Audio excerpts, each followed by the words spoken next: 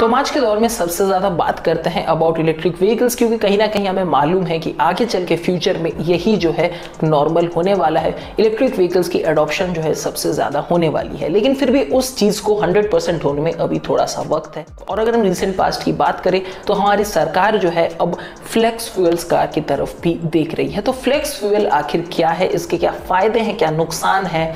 और ये exactly exactly काम कैसे करता है? सभी चीज़ों के बारे में आज इस वीडियो में हम बात करने वाले हैं। नमस्कार दोस्तों मैं नाम रिदमान आप देख रहे हैं ऑटो तत्व। स्वागत है आपका ऑटो टेक के एक बिल्कुल नए वीडियो में। कि आपको इसके नाम से ही पता चलता है। फ्लेक्स फ्यूल जो है इसका नेम कहीं ना कहीं आता है from flexibility and fuel flexibility का मतलब आपके पास ऑप्शन है दो डिफरेंट काइंड ऑफ़ फ्यूल को अपने कार में यूज़ करने का। अब आप कहोगे कि यार भाई ये तो वही सी एन पेट्रोल वाला या एल पेट्रोल वाला हिसाब हो गया। वेल well, आपका कहना गलत नहीं है बट ये एग्जैक्टली फ्लेक्स फ्यूल नहीं है।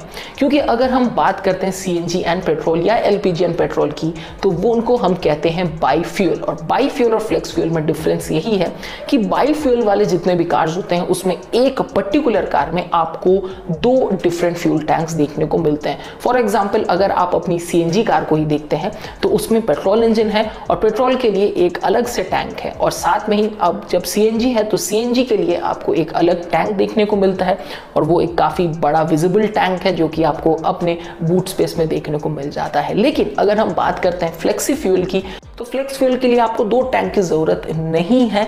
एक ही टैंक में जो है आपका काम हो जाएगा और उसी एक टैंक में आप दोनों फ्यूल को डाल सकते हैं।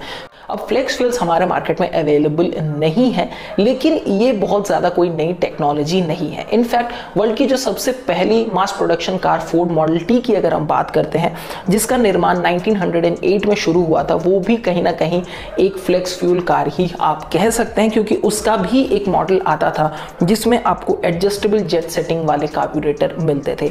तो ये बहुत कोई नया तकनीक नहीं है, ये बहुत टाइम से वर्ल्ड ओवर अवेलेबल लेकिन अब जो है हमारी हमारी सरकार इसके तरफ़ थोड़ा सा अपना कंसंट्रेशन लेके जा रही है और वो दूसरे कंपनीज़ को भी कह रही है कि आप इंडिया में ज़्यादा से ज़्यादा फ्लेक्स फ्यूल इंजन वाले कार लेके बात करते हैं कि आखिर कौन सा दो फ्यूल होता है इस पर्टिकुलर फ्लेक्स फ्यूल कार में? अगर हम बात करते हैं तो जो बेसिक फ्यूल होता है वो पेट्रोल होता ही है। इसके साथ या तो इथेनॉल या फिर मेथेनॉल का कॉम्बिनेशन होता है। 2018 तक 60 million cars already world over बेचे जा चुके हैं जो फ्लेक्स फ्यूल के साथ आते हैं। जो हालाँकि ये सारे कंट्रीज़ में भी पॉपुलर नहीं है, लेकिन यूएस कनाडा ब्राज़ील स्वीडन जैसे कंट्रीज़ में ये काफ़ी ज़्यादा पॉपुलर एक्चुअली में है।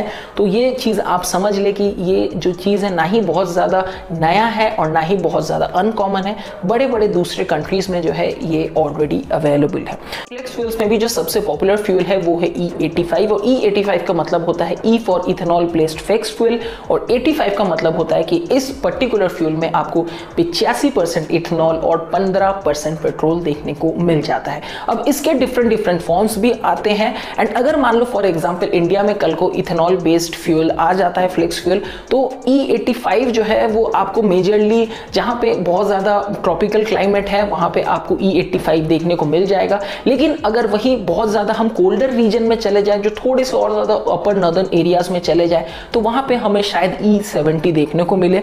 क्योंकि कोल्ड स्टार्टिंग प्रॉब्लम्स हो सकती है तो वहाँ पे आपको 70 परसेंट इथेनॉल इथेनॉल और 30 परसेंट पेट्रोल देखने को मिल जाएगा। ऐसे ही डिफरेंट टाइप के प्रोपोर्शंस के साथ जो है आपको फ्लेक्सी फ्यूल्स देखने को मिल जाते हैं। और as per weather conditions as per जो वहाँ का एम्बियंट टेम्परेचर वगैरह है, उस तरीके से जो है आपको different types of flex fuels की अवेलेबिलिटी मिलती है। वेल देखो, सबसे पहला और सबसे मेजर बेनिफिट जो है, वो है एनवायरमेंटल बेनिफिट अब पेट्रोल और फ्लेक्स फ्यूल को अगर आप देखते हो तो सिर्फ़ पेट्रोल में जो है आपको पता ही है कितना पोल्यूशन हो जाता है. लेकिन वही फ्लेक्स फ्यूल में जो है आपको हार्मफुल ग्रीन हाउस गैसेज जो है वो कम होते हैं. एंड साथ में ही जो फ्लेक्स फ्यूल है उसकी बर्निंग भी पेट्रोल से ज़्यादा बेटर होती है. तो ज़्यादा बेटर बर्निंग यानी कि कम आपको धुआँ मिलेगा और कम धुआँ मतलब एनवायरमेंट को कम प्रॉब्लम अब इसके बाद अगर हम बात करते हैं दूसरे बेनिफिट की तो वो है टेक्नोलॉजी बेनिफिट जो फ्लेक्स फ्यूल वाले इंजन होते हैं, वो एक्चुअल में पेट्रोल इंजन से थोड़े ज़्यादा एडवांस होते हैं. क्योंकि वहाँ पे जो आपको सेंसर्स वगैरह हैं, वो थोड़े और ज़्यादा सोफिस्टिकेटेड एंड थोड़े और ज़्यादा एडवांस्ड होते हैं. यानी कि अगर आप मान लो ई एट्टी फाइव की जगह किसी और टाइप का या किसी और प्रोपोर्शन का आपने फ्यूल डाल दिया तो वहाँ पे भी जो है ये वो बंद कर जाएगा. क्योंकि जो सेंसर्स हैं, वो ऑटोमेटिकली सेंस करते रहते हैं कि आखिर क्या प्रोपोर्शन जो है आया। उस तरीके से जो है जो है फ्यूल इंजेक्टर और स्पार्क प्लग का अपना ट्यूनिंग चेंज होता रहेगा। तो ये एक काइंड ऑफ़ एडवांस फीचर है और एक फ़ायदा भी है about the flex fuel cars ये जो पर्टिकुलर फ्लेक्स फ्यूल्स है दोस्तों, वो बन जाते हैं गन्ने से या कॉर्न से, मक्की के दाने से। तो इस वजह से ये एक काइंड ऑफ़ आप कह सकते हो कि नेचुरल रिसोर्सेज से ही बन जाते हैं और क्रॉप बेस्ड फ्यूल ये है। आमतौर पर अगर देखा जाए तो हमारा भारत जो है एक एग्रीकल्चरल देश है तो यहाँ पे जो है फ्लेक्स फ्यूल बनाने से कहीं ना कहीं हम थोड़े और ज़्यादा आत्मनिर्भर बन जाएँगे। क्योंकि अगर फ्लेक्स फ्यूल कार कॉमन हो जाते हैं, जहाँ पे पिचासी परसेंट ऑफ़ जो फ्यूल है वो इथेनॉल है, और इथेनॉल जैसा कि मैंने आपको बताया केन या कॉर्न से बन जाएँगे तो यहाँ पे जो है कम तेल हमें इंपोर्ट कराना पड़ेगा आमतौर के कार को चलाने के लिए। लास्टली अगर हम एक और बेनिफिट की बात करें तो वो है टैक्स बेनिफिट अब अगर इसको सरकार पुश करेगी तो यहाँ पे ज़ाहिर सी बात है कुछ टैक्स बेनिफिट भी आपको मिल जाए परफॉर्मेंस तो परफॉर्मेंस को लेके वैसे काफ़ी ज़्यादा आपको डिबेट सुनने को मिल जाएगा, लेकिन परफॉर्मेंस भी जो है कि फ्लेक्स फ्यूल का थोड़ा सा आपको एनहेंस मिल जाता है, क्योंकि जैसा कि मैंने आपको पहले बताया फ्लेक्स फ्यूल जो है पेट्रोल से ज़्यादा बेटर तरीके से बर्न हो जाता है। इसकी बात करते हैं, क्योंकि एडवांटेजेस के साथ साथ हर चीज़ का एक डिसएडवांटेज भी आता है। पहला तो है दोस्तों, कि इथेनॉल जो है, वो एक काफ़ी ज़्यादा हाइग्रोस्कोपिक सब्सटेंस है। ये वो जो है इजीली पानी से कंटेमिनेट हो जाता है। जिस वजह से अगर आपके कार में कभी फ्लेक्स फ्यूल वाटर कंटेमिनेटेड हो गया तो आपके इंजन में जो है डैमेज हो सकता है। तो ये एक डिसएडवांटेज है। बात करते हैं माइलेज की तो माइलेज भी जो है एक काइंड ऑफ़ क्वेश्चन मार्क है इस पर्टिकुलर फ्यूल के साथ। कई बार कहा जाता है कि जो माइलेज है उसमें आपको ऑलमोस्ट अराउंड थर्टी परसेंट तक की गिरावट देखने को मिल जाती है। कि वैसे अगर आप देखोगे तो फ्लेक्स फ्यूल का जो ऑक्टेन नंबर है वो हाई होता है लेकिन जो एनर्जी प्रोड्यूस करता है जलने के बाद वो थोड़ा सा कम होता है। तो, तो उससे होता क्या है कि अगर एक लीटर पेट्रोल को जलाने के बाद एक particular amount of energy produce होती है, जिससे कि आपकी कार चल सके, वहीं फ्लेक्स फ्यूल को चलाने से उससे थोड़ी सी कम होगी। तो वही पर्टिकुलर पावर आता रहे, उसके लिए आपको थोड़ा सा ज़्यादा फ्लेक्स फ्यूल जलाना पड़ेगा। तो इस वजह से भी माइलेज पे थोड़ा सा डिफरेंस आ सकता है। फाइनली बात करते हैं इसके एक और सबसे बड़े डिसएडवांटेज की, वो है अवेलेबिलिटी तो जैसा कि मैंने आपको बताया, हमारे कंट्री में सी ही की अवेलेबिलिटी की अगर बात करें तो आपको बड़े शहरों में तो सी अवेलेबल हो जाती है।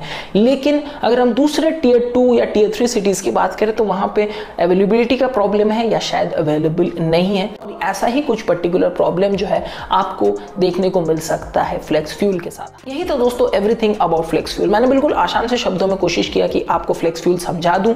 एंड क्योंकि इस चीज़ के बारे में अब गवर्नमेंट भी थोड़ा सा ध्यान दे रही है तो मुझे लगा कि शायद आप लोगों के लिए ये जानकारी महत्वपूर्ण हो सकती है। With that said guys I hope कि आपको ये वीडियो पसंद आया। आप मुझे नीचे कमेंट सेक्शन में ज़रूर बताइए कि अगर इस टाइप के कार्स को मार्केट में लॉन्च किया जाता है तो क्या आप इस टाइप के कार्स में अपना हार्ड एंड मनी खर्च करेंगे? या आपके क्या ओपिनियन है अबाउट फ्लेक्स फ्यूल नीचे कमेंट सेक्शन में ज़रूर बताइए। With that guys I hope कि आपको ये वीडियो पसंद आया। अगर अच्छा लगा तो प्लीज़ एक लाइक ज़रूर करें। चैनल पर नए हैं तो सब्सक्राइब कर ले। मैं आपसे मिलता हूँ अपने अगले वीडियो में। एंड जाने से पहले, जैसा मैं हमेशा कहता हूँ always fast serious drive and always wear protective gates and helmet when you ride till then take care good bye and always follow traffic Africans.